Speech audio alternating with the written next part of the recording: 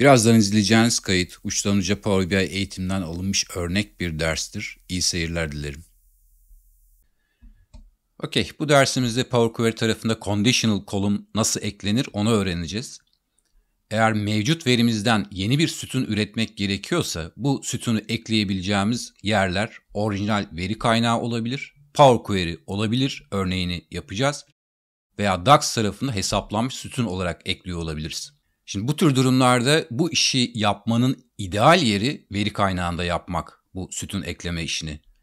Eğer veri kaynağına aksesimiz yoksa Power Query'de yapmak, en son hesaplanmış sütun olarak DAX'da yapmak. Eğer refresh performansınızın iyi olmasını istiyorsanız bu sıralamayı genel olarak takip etmekte fayda var. Peki bir önceki derste kullandığımız veri setinde benzer bir veri seti kullanıyorum. Gene bir öncekinden farklı olarak TL karşılığı diye bir sütun da var tabloda.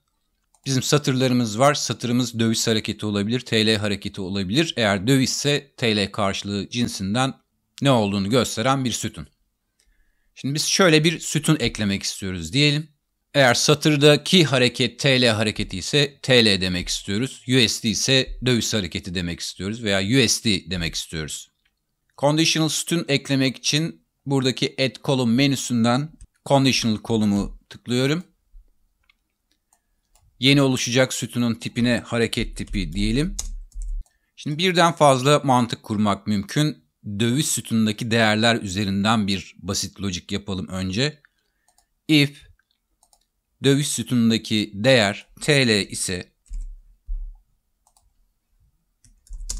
TL hareketi. At clause ikinci bir condition eklememizi sağlayacak. Eğer ilk yazdığımız condition false olursa bir başka condition testi yapabiliriz. Else if döviz sütunundaki değer USD ise USD hareketi diyebiliriz hiçbiri değilse bilinmeyen hareket diyebiliriz. Şimdi buradaki yazdığımız condition'ların sıralamasının önemli olduğu durumlar olabilir.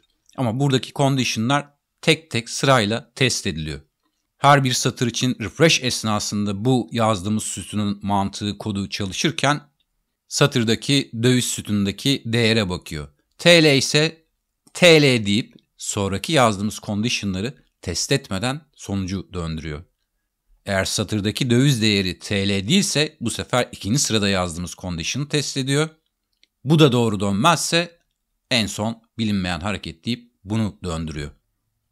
Bu tür condition'ları yazarken de size tavsiyem şudur, best practice de şudur. Bizim verimizde şu an için USD var, TL var. Okey.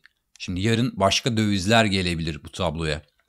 Dolayısıyla buradaki condition'ların hepsine olma ihtimali olan bütün döviz kurlarını girip hiçbiri değilse bilinmeyen bir hareket var demek daha doğru olur.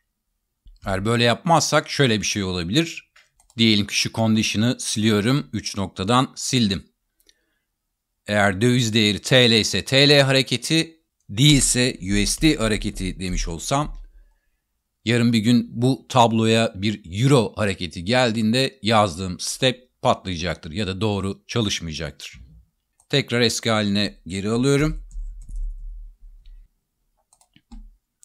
Add close döviz. USD ise USD hareketi bir tane daha ekleyelim. Euro ise Euro hareketi. Tahmin edemediğimiz bir transaction kaydı gelirse buradaki para birimlerinden farklı olarak o da bilinmeyen hareket diye gözükecek.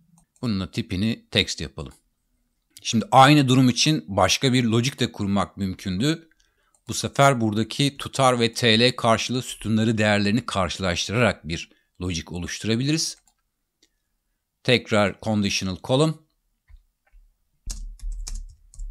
Döviz mi TL mi diyelim. Burada diyorum ki eğer tutar sütunu Şimdi default'ta buraya girebileceğim değer iki farklı şey olabilir. Bir önceki yaptığımız örnekte elle bir değer girdim. Ama diyebilirdim ki ben buraya bir sütun gireceğim. O da ne olacak? TL karşılığı olacak. Eğer tutarla TL karşılığı sütunları birbirine eşitse TL hareketidir. Değilse döviz hareketidir diyebilirim. Yani buradaki sütunlara ya elle manuel bir değer girebiliriz ya da bu tablodaki herhangi bir başka bir sütunu verebiliriz. Peki buna da okey diyelim. Tipinde text yapalım. Peki bir de gruplama örneği yapalım. Bir banding örneği yapalım. Buradaki tarih sütunları üzerinden, vade tarihi ve tarih üzerinden. Her iki sütunu da seçiyorum. İkisinin arasında kaç gün var onu bulmak istiyorum. Daha önce bir örneğini yapmıştık. Add column sütunları seçtikten sonra date, subtract days. Arada kaç gün var çıkart. Şimdi burada şöyle bir logic yapalım. Şöyle bir banding yapalım. Diyelim ki eğer iki tarih arasındaki fark 10 günden azsa düşük diyelim.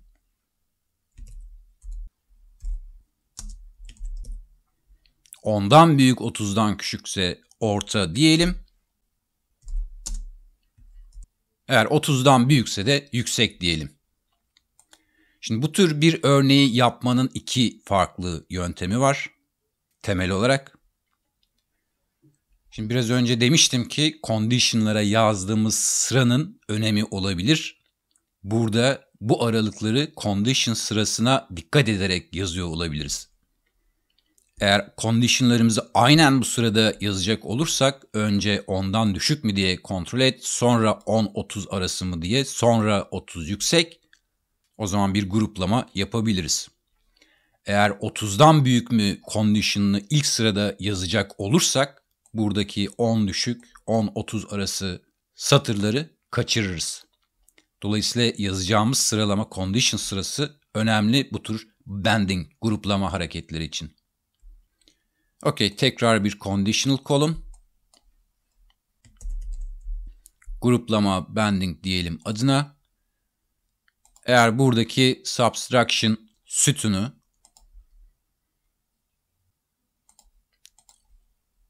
ondan küçükse düşük diyeceğim. Değilse sıralamaya dikkat ederek ikinci sırada ne var? 10-30 arası var. 10 değilse bu sefer 30'dan düşük müyü kontrol etmemiz lazım.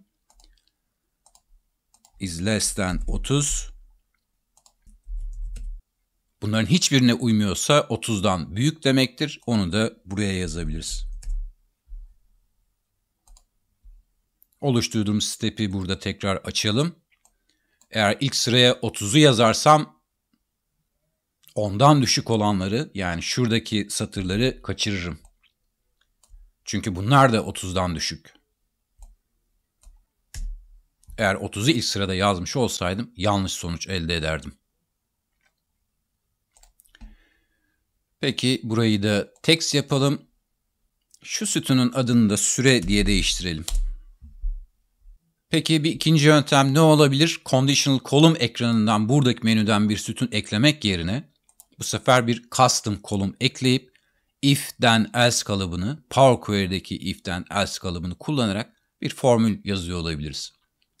Şimdi o formüle geçmeden önce bu conditional kolumları yarattığımızda oluşturduğu formüle bir bakalım. Bize ipucu versin çünkü. Burada diyor ki if subtraction küçük 10 then. Else if başka bir condition. Else if başka bir condition. En son else başka bir condition. Demek ki şuradaki sintaksı kullanabiliriz. If sütun adı falan then böyle. Şimdi conditional column eklerken bir and or condition'ı ekliyor olmanın yolu interface'te yok. Bir or ifadesi kullanmak istesem, and ifadesi kullanmak istesem buradan onu yapamıyorum. Ama custom column ekleyerek ve bu yukarıdaki kalıbı kullanarak and or operatörlerini kullanmak mümkün. Tekrar en son step'e geldim. Bu sefer add column menüsünden custom kolumu ekleyeceğim. Custom'ize formülünü bizim yazacağımız bir sütun. Custom column and or ile diyelim. Şimdi Power Query tarafındaki M dili case sensitive bir dil. Yani büyük harf, küçük harf duyarlı. Dolayısıyla fonksiyon adı neyse tam birebir aynı ismi kullanmak gerekiyor. Case olarak da büyük harf küçük harf olarak da. Ama bir önceki kalıbı burada aynen replike edelim. If buradaki yandaki sütundan süreyi seçebilirim veya yazabilirim. Önce seçiyor olalım. Double click yaptım.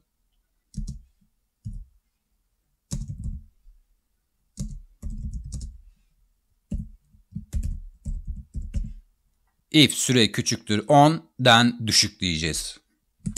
Bir alt satıra geçiyorum. Else if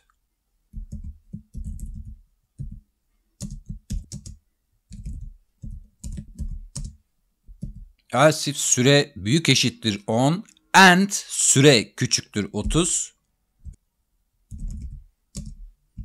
then orta sonuncu condition'da yazalım. Else yani hiçbiri değilse yüksek. Şimdi emdili case sensitive demiştim. Bir örnek yapalım. Buradaki and'i küçük değil büyük harfle yazıyorum. Bana direkt hata mesajını burada aşağıda veriyor. Çünkü bu büyük harfle yazılmış and'i tanımıyor. Benzer şekilde if'i de else'i de büyük harf yazsam tanımayacak. Şimdi AND OR operatörlerin kullanımı her yerde aynı. Power Query'de de bir farkı yok. Eğer kullanmak istersek böyle bir sintaks yazabiliriz. Eğer birden fazla condition'ı AND OR operatörleriyle mix etmek istersek kullanabileceğimiz sintaksa bir örnek yapmış olduk. Peki buna OK diyelim. Şimdi benzer bir sütunu DAX tarafında da ekleyelim. Bunun tipine de text dedikten sonra bunu close apply yapalım. Okey şimdi veri modeli tarafına geçtik. DAX tarafına bir hesaplanmış sütun ekleyelim bu sefer. New column. Benzer bir if kalıbını burada da kullanabilirdik. Hareket tipi için yapalım. Hareket tipi eşittir.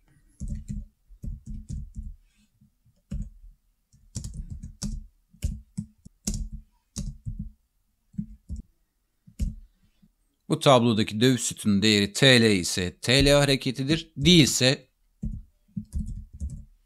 döviz hareketidir deyip aynı sütunu burada da oluşturmak mümkün. Aynı tabloda aynı isimli iki farklı sütun olamaz. Buna DAX diyelim. Burasıyla burası aynı. Ama dediğim gibi bu tür durumlarda Sıralama olarak önce veri kaynağında sonra Power Query'de en son burada yaptığımız gibi DAX ile eklemeyi tercih edin. Bu şekildeki basit formüllerde, basit if condition'larında veya switch'lerde çok fark etmez belki ama hesaplanmış sütunlar veri kaynağından okuduğumuz sütunlara göre daha az oranda sıkıştırılabiliyor. Dolayısıyla bu tür sütunları DAX harici diğer yerlerde eklemek genellikle daha avantajlıdır.